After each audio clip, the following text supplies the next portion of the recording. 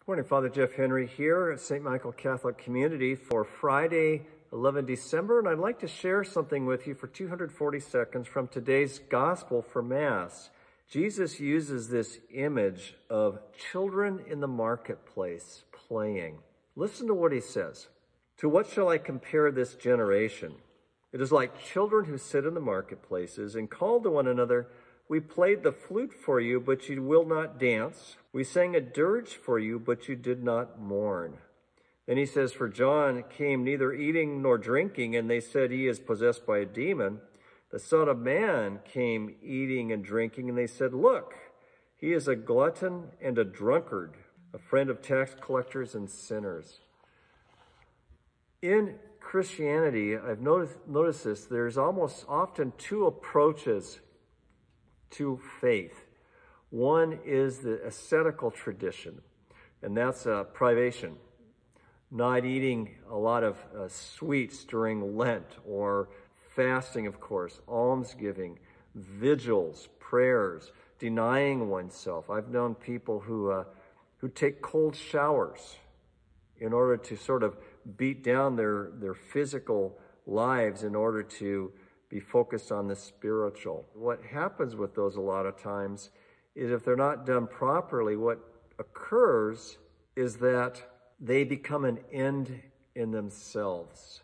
And the same thing can happen with celebrations. Sometimes in the church, uh, another group that you could say is focused on the celebrations, the, the, the, the joy and the excitement of our faith.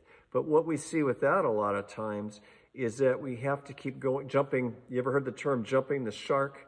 We keep having to go higher and higher and higher to create more and more elaborate opportunities for celebration because the old celebrations just don't cut it anymore. We always feel like we have to do more and more to get people's attention. So what's the answer to this? I think about Ecclesiastes. For everything there is a time and a season under heaven. There are times that the church year prescribes ascetical practices, such as during Lent, prayer and fasting Ash Wednesday, things of that nature. Uh, some of us, such as myself, we put ourselves on perpetual fasts, not because we think it's more that we become more spiritual than other people. It's just what's best for us in our faith, the way that we express it. Other people look and find great strength from the celebratory events, the things that mark out times of rejoicing and bringing us close to the Lord. But we do both. Who would ever want to skip out on Easter? Who would ever want to not put an ash cross on our forehead for Ash Wednesday? They're both necessary, and both of those are a benefit. In fact, what's interesting is Jesus uses this story, but he himself endured privation, such as when he was in the desert for 40 days. He spent vigils at night praying, and yet at other times he was in uh, at his friend Lazarus's house. So I guess what I would encourage you to do, and myself as well, is to be open to both the celebration and the ascetical. Even Mother Teresa, every once in a while, had a banquet. Let's have a word of prayer.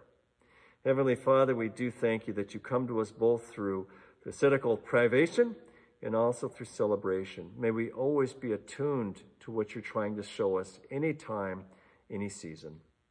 In Jesus' name we pray. Amen. In the name of the Father, and of the Son, and of the Holy Spirit.